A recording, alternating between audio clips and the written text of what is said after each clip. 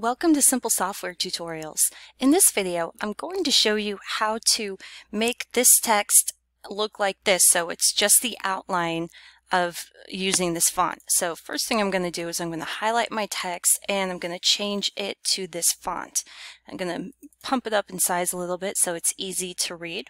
So leaving it highlighted or if you already have your text the appropriate size, go ahead and you know click to highlight your text. So you can either click and drag, or you can just, if you click it enough times, it'll select everything.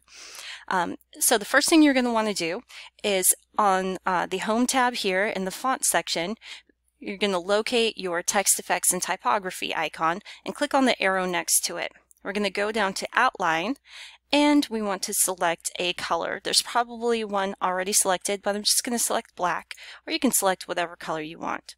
So it's still highlighted. So now we want to change the font color because we don't want the font to show up. And the way we do that is by changing the font color to white.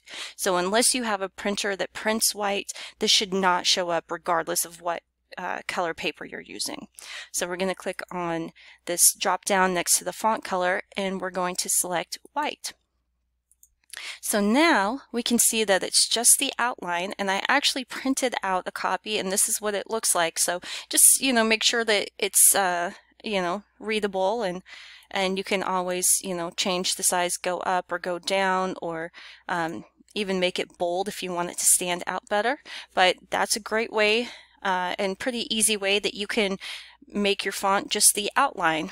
So I hope this video was helpful. Don't forget to subscribe to my YouTube channel for more helpful videos. Give me a like or a comment if this was helpful or if you have questions or ideas.